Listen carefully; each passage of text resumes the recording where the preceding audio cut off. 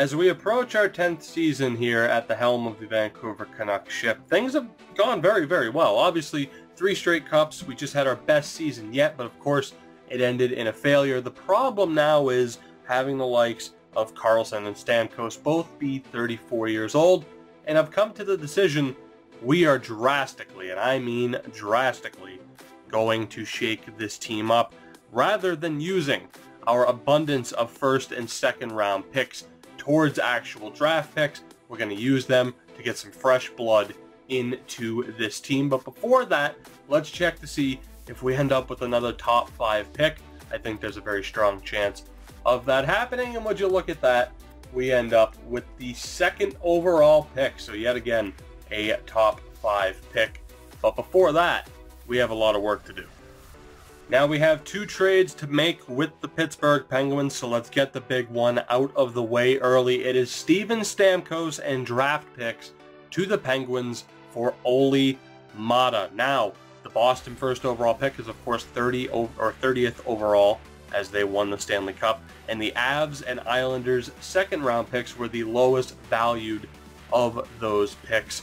Simply put, the big thing we're changing up now is the defense. I think now, of course, with Stamkos, as I said, being 34 years old, with four years, what will eventually now be three years left on his deal, now is the time to move on. It's not easy, especially because now we really need certain players to step up and really deliver the offense as Stamkos has been doing. But giving you a look at Olli Maatta, he's locked in above a 90 overall, 29 years old, has a pretty solid contract for a legit top two defenseman.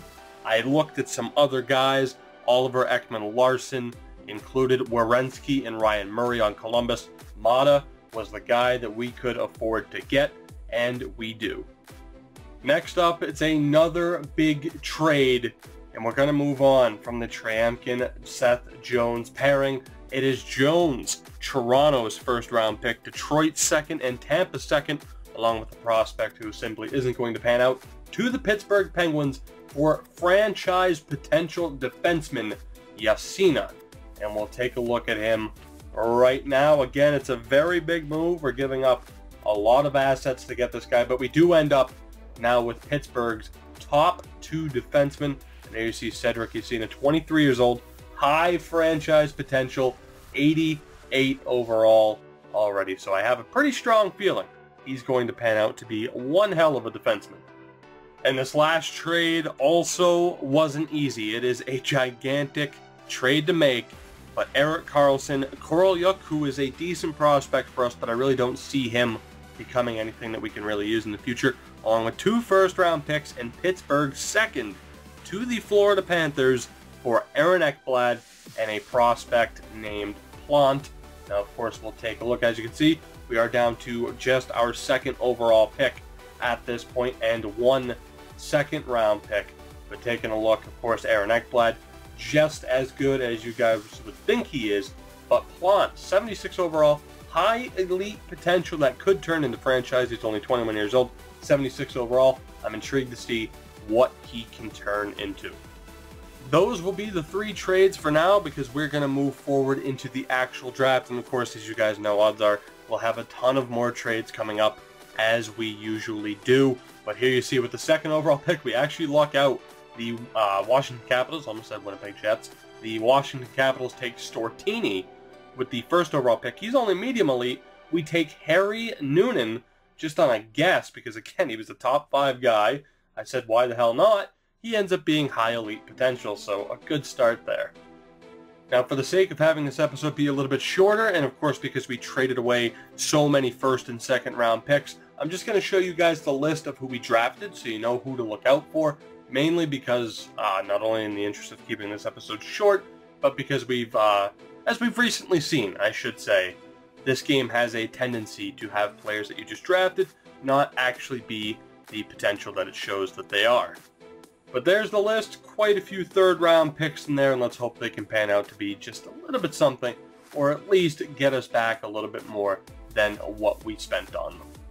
And now that we've hit the re-sign phase, of course, it's a pretty big time period for us really needing to get our roster sorted out here. Of course, we do need to re-sign, uh, what's his face? We just traded for him. and I cannot remember his name. The guy from Pittsburgh, Yasina, is a restricted free agent. But first, let's take a look at goaltenders, and really there's nothing we need to do. Thatcher Demko is still our goalie, unless Mahalik gets a big overall boost between now and the start of the next season, in which case Demko will be traded, and we'll probably sign Koivisto to be the backup down in Utica. But moving on to the defense, of course, it's now Ekblad and Maatta as our top pairing. Chychrun Yasina is the second pairing. Unfortunately, because of that, it looks like we're going to lose Stecher and Tryamkin for free. Of course, in this game, it doesn't matter. If they are without contract, the uh, game won't take them. I tried to offer Stecher to, I think, Carolina for a seventh round pick like five years from now, and they wouldn't budge. So that is unfortunate. Let's see we can drop Goulet, or however the hell you pronounce that name. Uh, is, there, is there anybody else, I should say? Englishman Wolski is a restricted free agent and is leaving our team. Could have sworn there were some other players. There were not. Uh, Commodore, one of the guys we drafted, though, top four, so not too bad. That that uh, worked out well, I should say. And yeah, that, that pretty much does it. I mean, we just need to send that offer to Yasina, and then if we have room to re-sign Stecher and Tryamkin just so that we can trade them, I might do it, although we could very well get in trouble for doing that. But let's take a look here at Yasina. 7-7, even 8-7 isn't too bad and will look like a pretty good contract here in a few years. Actually, who else needs to be re-signed? We should probably take a look at that before I invest a lot of money. Joensuu needs a new contract. Okay, is that it? Is that it, hopefully? Heinen needs a new deal. And that's pretty much it. So not not too bad there. I think we can afford to give Yasina that pretty big contract. And I can't imagine that we would not be able to resign. I'm going to try 8.4 here, 8.45. I can't imagine we won't have the space to re-sign Stecher and Tryamkin and then eventually deal them. But I'm looking forward to seeing what prospects here can make the jump. Joensuu is one of them. We really need him to make the jump here. He is looking for ridiculous money. I don't exactly want to hand him a seven-year deal because that's absurd, but he is a first-line guy at this point. Let's see if he accepts seven mil, just straight up seven mil, seven by seven here. Robert Carlson needs a new contract as well. Three years isn't bad. We'll try 4.8 for him. Again, I'm not doing the eight uh, or the uh, 0.8% trick at the moment, just to, uh, it's like I said, uh, before I did it and then the uh, one off season where I did it, it's hit or miss for me for some reason. Maybe it's just the type of player. Noonan, 69 overall, still high elite potential, but he is not going to be a factor like uh, like some of the other guys are. Holy shit! Esa Hall is an 88 overall. Are you fucking... He started last season at, what, a 62? Holy shit, that is the most ridiculous example of progression I think I've ever seen. Wow. Uh, Savage needs a new deal. So we'll give him 3-2 for three years. I know he's restricted. It doesn't matter. Grantham needs to be released. It's like next off season. You can see all the uh, all the contracts coming up. Next off season is going to be a bitch. Uh, we did end up getting some of these guys were top nine. I think Kamins- uh, Comiskey was a fucking top six. How was he up to elite? My God, we got pretty lucky there. Man, the draft has just been so kind to us lately. Um, Ackerland can go. Uh, can go. Do we re-sign Danton Heinen? Is a pretty big question. I don't see why we wouldn't, to be honest. I don't know who's coming up in terms of free agency, but it definitely looks like we're going to need some contracts. So maybe look to give Danton Heinen another one-year deal, and we'll take it from there. We'll just see if he accepts that. We'll move forward. We'll send the day, and then potentially look at signing Stecher and Tryamkin. I'm not sure if I want to because, again, I don't want to risk getting in trouble for signing and trading. But if this game wasn't shit and I could trade their rights, that would be wonderful.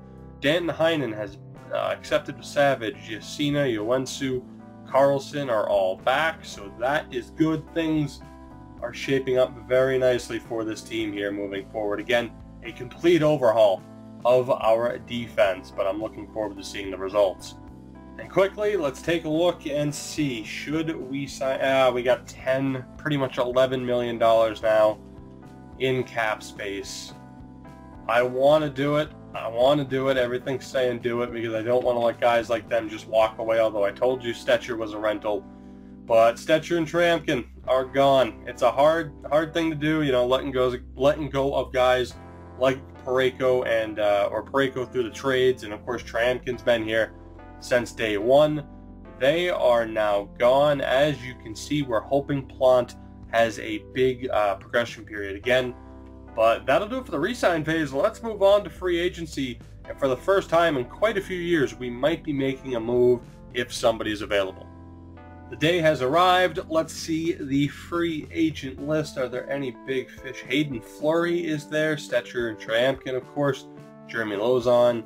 So some decent names here, some decent names that we might be able to make a play for. But I have to say, at this point, after taking a look at the free agent list and who we have on our team already, while it would be nice to have some of these players, unfortunately there aren't really any prospects I want. Like having Hayden Fleury would be nice, Boedker, Jaden Schwartz, or even bringing back Stecher to be on the right side. It'd be nice to have these players, but I'm going to take the risk and I'm going to bank on good progression from our players. I am very, very tempted to re-sign Stecher for one year. You know what? God, should I? Because if I don't, it comes down to Plante hopefully making it. You know what? We have the space. I'm going to send Stecher, because he's a righty, a one-year deal. I don't know if he'll accept it. We'll offer him 7.25. And we'll see if he goes for it. If he doesn't, that's fine. But if he does, then cool. We have Troy Stecher for one more year and he will be on our third defensive pairing. But let's go ahead now and just sim up here. See what he says. I imagine he's going to Columbus. Who would who would decline going to Columbus? Right about now. Uh, my God, just give us an answer, would you? Jesus Christ. Unless he already went and it's still glitched out, it has to still be glitched out for me uh, signing and trading people, right? I mean, let's see. Let's go to approach. Is he there? He's not there. Okay, good. So it's still glitched out. That's wonderful. Thank you for wasting my time, EA. Let's sim forward to the next season. Now, guys, before moving forward and getting a look at the team, which, by the way, I think you're going to love the way this team looks, we do have just one trade to make so far. I think it's the only trade that we're going to have to make, cycling out prospects who simply aren't useful to us anymore. That would be Gallant, who I still had a lot of hope for, but he's now 24 years old and hasn't moved up to top six. Uh, we also have Varlamov, a bottom six forward, and then Kondratiev and Gunnarsson on defense. We send them to the Islanders for their first and second round pick in the upcoming draft. Alright, so we actually had one more trade to make, and that is Jaden Bolt, our former second round pick, who just doesn't really fit into the lineup anymore. He's been surpassed on the food chain, along with two guys we just drafted, Deschamplain and Mrazek, who I just really don't see working out on our team. I'd rather give the time in the AHL to other players we send them to Chicago for their first and third round pick this year. So here we go, guys. The team is pretty much set. There's just a couple of things I want to point out here. First of all, 98 offense, 94 defense, 91 goaltending. Down in Utica, it's 78, 74, 79, which is pretty good. Not the highest we've seen for our AHL team. But yeah, let's take a look at this team. Top line, Essa Hall, just, my God. First of all, he's a 90 overall, legit. I will even put up a screenshot from earlier before I made the trades involving the likes of Gallant and Bolt. That's all morale. He is a legit 90 overall, and he has moved up to franchise potential in one season. Was it one season? From a 62 to a 90, for God's sake. Um, it's unbelievable. He is a legit first line now. Not bad for the 51st overall pick new top line center, Laurent Durocher, the former number one overall pick, now a 90 overall as well at medium elite potential, 22 years old. They are with Joensuu, of course now 25. We just gave him the new contract. He is, of course, a first line forward, 88 overall. We need a big season from him with the contract we just gave him. Moving on to the second line, it's Jordan Hendry, 87 overall, medium elite potential at 21 years old, the former fifth overall pick in the same, or actually the year after the Durocher draft, excuse me. Auston Matthews, he is listed as a first line forward, so I'm a little bit concerned playing him out of that. Now is his last year of progression. I actually think it might roll over here in a minute, so he's not going to crack 90 overall, but for a second line center, that's pretty damn good. And Robert Carlson, he is listed as a second line forward, so we'll give him a chance. Like offensively, like his shooting is absolutely unreal. And I hope playing with Matthews and Hendry can really open that up. He is, of course, medium top six at 25 years old. The third and fourth lines, this is where it gets interesting. We, of course, have Jonathan Drouin, Danton Heinen, and now 88 overall Brendan Schneider, who's only a third line checking forward. I feel like he should probably be a power forward, but he's a bit undersized. I can't really change it anyway without the age glitch happening. But 21 years old, medium elite potential for him. I'm not sure how he's going to work out there. I think he'd fit better in on the fourth line, but he starts with Heinen and Drouin. The reason I say that is we have Jorgen Backlund, who is now in the lineup. Only depth for, but 83 overall, medium top six potential at 22 years old. We also have Wade Savage now at 85 overall, making his entrance into the lineup. On the fourth line, Drake Caggiula will be the center, only 75 in faceoffs, so I'm not too concerned. 30 years old now. I'm intrigued to see how he does. He, of course, should be a second line forward, but that just kind of shows the depth. So much youth in this team at this point. It is unreal. But the fact that we have had Esa Hall jump to franchise, Durocher, Joensuu, Carlson, Hendry, Schneider, Savage, Backlund, all new players uh, for the most part within the past year now on this team from what I can remember here. So unbelievable. And defensively, it might even be better. Olli Maatta, 91 overall. He, of course, now is 30 years old. Aaron Ekblad, a 92. Chychrun's an 88, also in his last year of development. Cedric Jessina, still high franchise. He has already jumped to a 90 overall. So Aaron Ekblad very quickly has become a little bit expendable if we choose to go that route. And of course, heading into next season, as you guys saw with the contracts, we're going to need quite a bit of money free. So this might be the only year that we have Aaron Ekblad and we might phase him out. The third pairing is Par Forstrom. He is with Pascal Plante, who is only an 81 overall, but we're going to leave him in. Of course, the Stecher signing would have worked out perfectly. I did actually get a notification telling me I should be free to uh, free to sign free agents once again. So that's good, but interesting. I mean, obviously that top four is the best top four um, probably ever assembled. I mean, certainly by us, and I have yet to see another team with that good of a top four. And of course, we'll check over the goalies, and this is actually one of the things I, or really the only thing I wanted to go over as far as questions go. Thatcher Demko still there. Nyquist has dropped to fringe starter potential. He's an 84 overall. Um, Michalek is an 82 and is now labeled as a backup goalie. So we need to get him starts. The question to you, Demko or Nyquist? Both could fetch a pretty penny at this point. Nyquist we know isn't going to be the starter. So if it was up to me, as much as it sucks because of what Nyquist did for us uh, not too long ago, I think the better bet would be go would be to go with Demko for now until Mahalik is ready. Both of these guys' days as Vancouver Canucks are numbered though. And quickly for the hell of it, we'll look over the AHL before we wrap up this episode. It's looking pretty damn good. We have Noonan, who of course is high elite potential. Doyle is there, Sloan is there, and just overall, as you get a look at the potentials, things are looking pretty good. Bakar is also somebody we just drafted. I'm pretty sure he was top six. He jumped to elite, so we've had quite a bit of luck, and everybody else on the team here, the bottom pairings are top nine. Defensively, it's still looking pretty weak, unfortunately, with Derek Corey being a top four. Uh, he's second best to William Gannon, who is elite. From there, it's all top six, including low top six for Charlie Rosehill. So that's looking a bit rough. The goaltending, of course, though, still looking good. Daniel Bergeron, elite potential. And Vesa Koivisto, who we just signed, is starter potential. But guys, that is it for the team and this episode. I think we rebounded very well for a team that just gave away Stamkos, Seth Jones, lost Stecher, and Tryamkin, traded Erik Karlsson.